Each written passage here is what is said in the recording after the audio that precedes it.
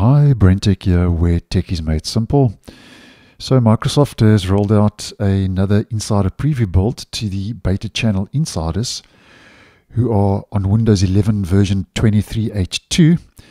And that's with the update KB5055623, which bumps the build up to 22635.5170. Now, just a quick video to tell you what's new in this latest beta channel build. And the key highlight is something Microsoft actually temporarily disabled to address some issues and is now rolling out again for testing.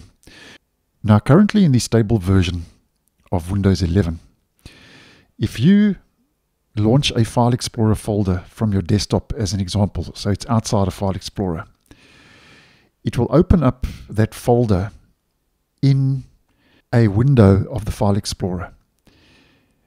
And if we head into our options, you currently have two options under Browse Folders. Open each folder in the same window or open each folder in its own window. Now, this is where Microsoft is introducing the new feature because Microsoft says that it's starting to roll out the change again so that when you launch File Explorer folders from outside of File Explorer, so as an example, from an app or from the desktop, by default now, they will now open in a new tab if you have an existing File Explorer window open. So what this will basically allow you to do at the end of the day, it will allow you to open folders in new tabs by default in the File Explorer.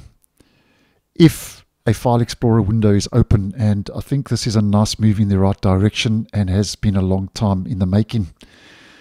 Now, Microsoft says that if you would prefer to continue opening in a new window like it currently is in the stable version, you can change this in the File Explorer folder options as mentioned under General Browse Folders. Open each folder in the same window. That default now will change to open in a new tab. So I think that's a nice move.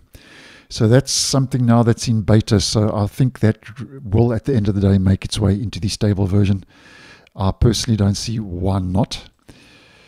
And then just a quick run through as to what else is happening. There are three key fixes.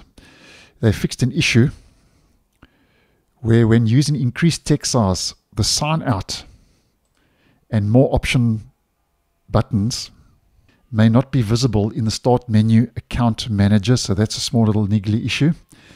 And they also fixed an issue which was causing File Explorer to crash in some cases when copying or renaming files in recent builds. And then they also fixed an issue where if you typed in some apps, they might stop working after disconnecting from a remote desktop session. So those are just little tweaks and adjustments that Microsoft has made to iron out bugs in the beta channel. And then we get a known issue because in effect beta is still in preview. So that's just a quick overview as to what's new um, in the latest beta channel inside a preview build. So thanks for watching and I'll see you in the next one.